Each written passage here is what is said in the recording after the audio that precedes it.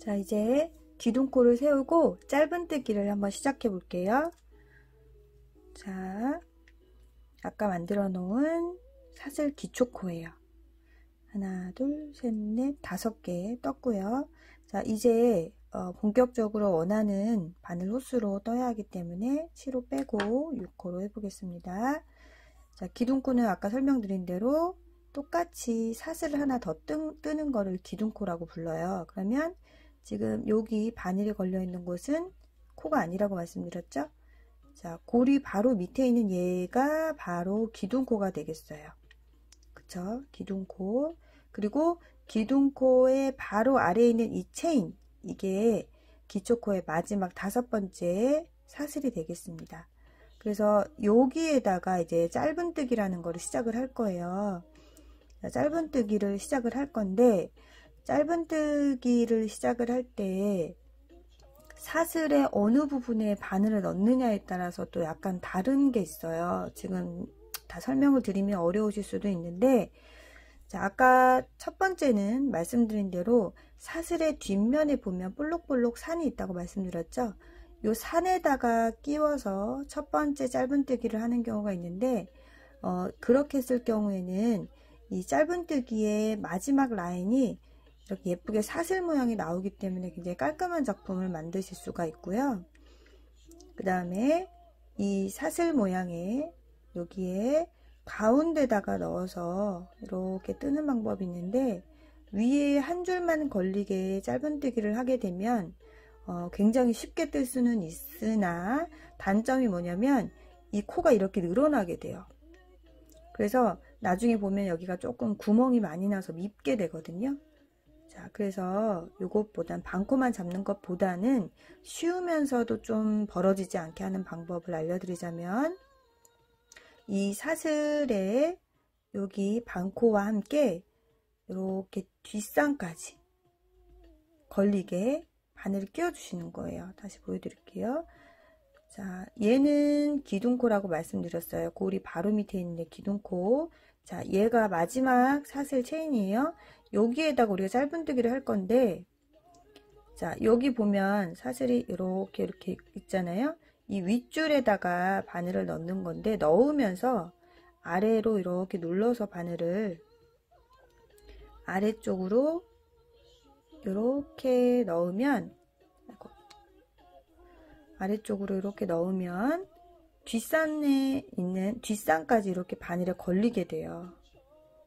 그래서 조금 안정적으로 우리가 짧은뜨기를 할 수가 있고요. 자, 다시 한번 체인의 두 줄이 위아래 있죠. 아래쪽 줄로 밑으로 쑥 넣어 주시고요. 자, 그리고 이쪽에 있는 실을 이렇게 가지고 나오세요. 그러면 이 바늘에 총 두 개의 고리가 걸려 있어요. 그때 이쪽에 있는 실을 가지고 두 개를 통과해주면 이게 바로 짧은뜨기예요. 다시 보여드릴게요. 자, 다음 이쪽이죠. 아래쪽으로 자, 체인에 잘 보이시죠? 여기에다가 이렇게 넣고 가지고 나와서 바늘에 두 개가 걸렸을 때 이쪽에 있는 실을 가지고 와서 통과 다시 아래쪽에 넣고 가지고 나와서 두 코가 됐을 때 통과 다시 아래쪽에 넣고요. 실을 가지고 와서 두 코가 됐을 때 새로운 실을 걸어서 통과 자 이제 마지막 코예요. 아까 얘는 매듭이라 그랬고요. 마지막 체인이 남아 있어요. 아래쪽으로 넣어서 가지고 나와서 두 코가 됐을 때 통과 이때 한 번에 막 하려고 하면 구멍이 좀 작아지거나 실이 걸려서 막 안 빠지는 경우가 있어요. 손목에 힘을 빼고 하시면 제일 편한데 초보자분들이 힘을 빼기 제일 어려워하세요. 그래서 급하게 두 콜 한 번에 빼려고 하지 마시고 천천히 앞에 거 하나 빼고 뒤에 거 하나 빼고 이렇게 여유 있게 생각하시면서 떠주시길 바라고요. 지금 이렇게 한 1단 1단을 떠놓은 형태예요. 자, 다음 단을 갈 때 아까 말씀드린 것처럼 기둥을 세우고 가야 돼요. 우리가 계단 올라가듯이 계단 밟고 이렇게 와서 계단 밟고 올라가고 이런 식으로 올라가게 되거든요. 평면 같은 경우에는 자 그래서 기둥코를 기둥코가 아까 사슬이라고 했죠. 사슬 하나 그냥 이렇게 떠주시고요. 자 우리가 계속 뜨개질 방향이 이쪽으로 갔었잖아요. 왼쪽으로 가면 더 이상 뜰 공간이 없어요. 그죠? 그래서 이 편물을 살짝 돌려서 잡아줍니다. 이렇게 자 그리고 그러면 어디다가 넣어야 될까요? 헷갈리죠?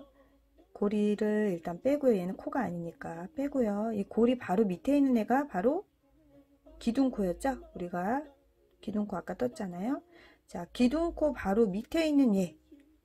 얘가 마지막 짧은뜨기 한 곳이에요. 1단에서. 자, 그러면 이쪽으로 들어가야 되겠죠. 여기에 이렇게 들어가서 가지고 나와서 두 코가 됐을 때 이렇게 얘가 좀안 예쁘게 됐네요. 자, 다시 여기다 넣어서 가지고 나와서 통과.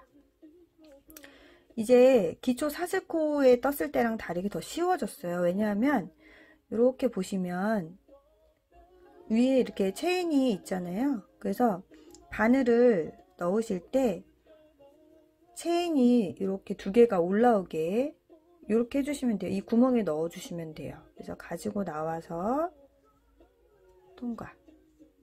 다시 다음 단, 다음 코 여기 체인이 다 걸렸죠. 이렇게 다시 넣어서 가지고 나와서 두 코가 됐을 때 빼주시고 마지막 코 이거를 잘 못 뜨시는 경우가 있어요. 그래서 얘가 마지막이야. 다 뜬 거야. 안 뜬 거야 해서 뜨다 보면 얘가 어떤 때는 막 이렇게 삼각형이 되고요. 코가 점점 줄어서 어떨 때는 코가 막 늘어나서 부채꼴이 되고 그렇게 되시더라고요. 숙제를 내보면. 그래서 가장 좋은 거는 코스를 확인해 보는 거예요. 우리가 아까 기초코 다섯 코 잡았었잖아요. 여기 보면 하나, 둘, 셋, 네 코 떴죠. 그럼 얘는 떠야 하는 코예요. 그죠? 자, 항상 정확하게 뜨시는 게 중요합니다. 마지막 코 넣어서 이렇게 하시면 지금 짧은뜨기로 사슬코 다섯 코를 기본으로 한 짧은뜨기 2단을 뜬 거예요. 자, 어려우셨나요? 자, 일단 오늘은 여기까지만 해보고요. 음, 다음 시간에는 오늘 배우신 이 짧은뜨기를 이용해서 아주 간단한 소품 만들기를 해볼 예정이에요. 어, 그래서 아까 말씀드렸지만 도안 보는 거를 어려워하시는 경우가 많기 때문에 도안 설명과 함께 같이 소품을 만들어 보도록 하겠습니다. 그래서 오늘 배우신 거 어, 틈틈이 연습을 많이 해두시면 다음 영상에서 더 따라 하시기가 쉽겠죠? 네, 그러면 오늘도 같이 시청해 주셔서 감사하고요. 다음 시간에 뵙겠습니다. 감사합니다.